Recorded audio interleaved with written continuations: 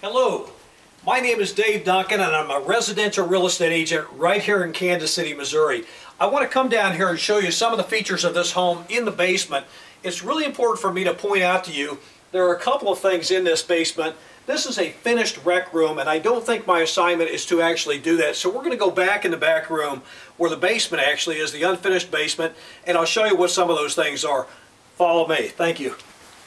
Okay, we're going to check out the hot water tank first, which is really, really important in this house. It's such a large house with all of the pipes that go so far away that the hot water doesn't always circulate to the faucets as quickly as you like. So what the builder put in here was a circulation line so that when the hot water goes up in the house, all of the return water comes right down through this pipe. Now one of the things that's actually needed is probably some kind of a pump on this. It's several hundred dollars to do that, but I think it would be a fantastic feature to actually add to this house as well.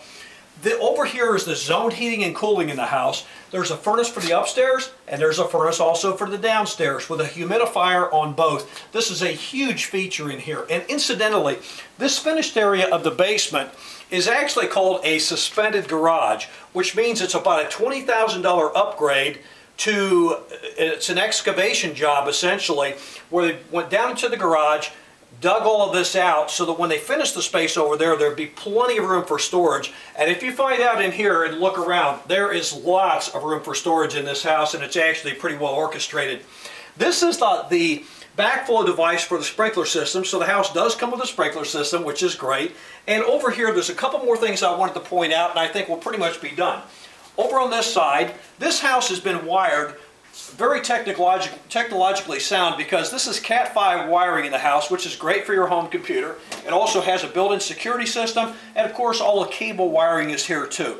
One more thing I wanted to point out, it's a little bit of downside to this house, not very much. A few minor cracks in the floor, but not much to worry about. There are a couple of wall cracks in here that I don't think are going to be any kind of a foundation issue in this house, but there's a little bit of a diagonal crack here, which is right below the garage. And back in that corner of the garage, there's also kind of a diagonal crack that goes that way.